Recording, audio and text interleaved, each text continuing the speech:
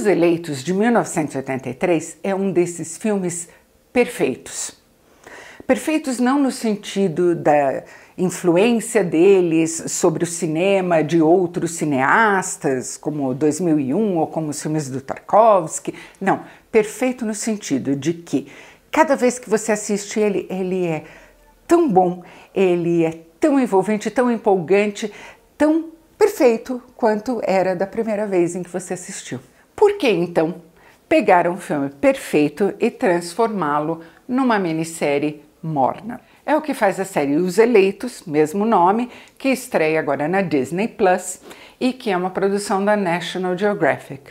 Olha, eu não sei nem por onde começar a enumerar todos os problemas da série Os Eleitos. Primeiro deles, o filme Os Eleitos, que é uma adaptação do livro do grande Tom Wolfe, dirigida pelo Philip Kaufman no melhor momento da carreira dele, tem um elenco irretocável. O Ed Harris como o John Glenn, o primeiro americano a ir para o espaço, o Dennis Quaid como o Gordon Cooper, o Scott Glenn como o Alan Shepard, o Fred Ward como Gus Grissom, os astronautas do projeto Mercury 7 da NASA. O Sam Shepard como o Chuck Yeager, o primeiro homem a quebrar a barreira do som num avião. Viraram, para mim, aquelas pessoas.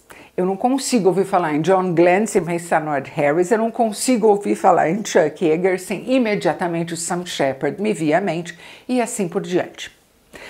Já os atores da série, tem um bocado de gente ali que era ator coadjuvante de Mad Men e tudo mais, mas nenhum deles causa forte impressão. Não pelo menos nos dois primeiros episódios, são os que eu vi e são todos os que eu terei visto. Eu duvido muito que eu vá continuar a acompanhar a série. Segundo problema, Os Eleitos já era o filme uma reconstituição de época. Né? O filme é de 83 e ele fala de eventos que começaram em 59, 60, 61, por aí é uma reconstituição de época absolutamente perfeita, feita por pessoas que estavam vivas e atuantes naquela época, conheciam tudo em primeira mão e que tinham como base, que se tem até hoje, um farto material de consulta. O filme está lá como uma cápsula do tempo. É voltar exatamente para aquele período da história. Não tem nada que tenha envelhecido na reconstituição de época dele, porque ela é muito criteriosa, ela é muito discreta, muito clássica. Já a reconstituição de época de Os Eleitos é aquela coisa que parece.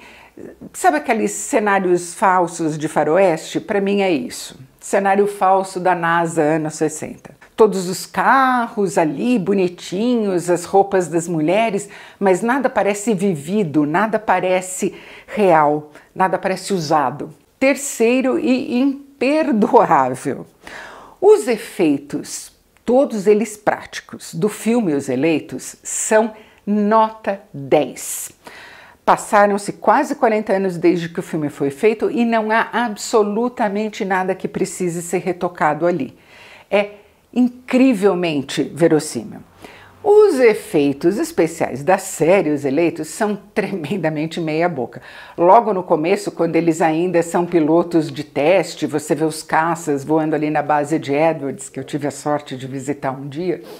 É, gente, cada defeitinho chumbrega, aqueles aviãozinhos de computação gráfica de saudão. Quarto, tudo aquilo que estava tão bem resumido, com um ritmo impecável, propulsivo, completamente aliciante no filme Os Eleitos, aqui virou encheção de linguiça. Você sente que as pessoas estão esticando, esticando. Então eu vou parar de esticar também, porque acho que eu já deixei bem claro. Só voltou a dizer que para mim é incompreensível que essa série seja uma criação do Mark Lafferty, o criador, produtor e muitas vezes roteirista também de Halt and Catch Fire, que eu acho o máximo, e de Castle Rock, que é uma versão bem decente de Stephen King. Aqui, não entendo.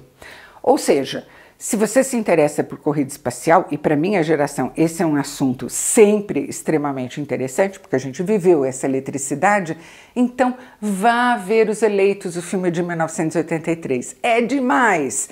Os eleitos a série só se você estiver precisando ali de um pano de fundo enquanto você fica no Twitter. Muito obrigada por assistir até aqui. Se você gostou desse vídeo, não se esqueça de curtir, inscreva-se no canal, clique no sininho e me acompanhe também no meu blog e no Twitter. Até o próximo vídeo.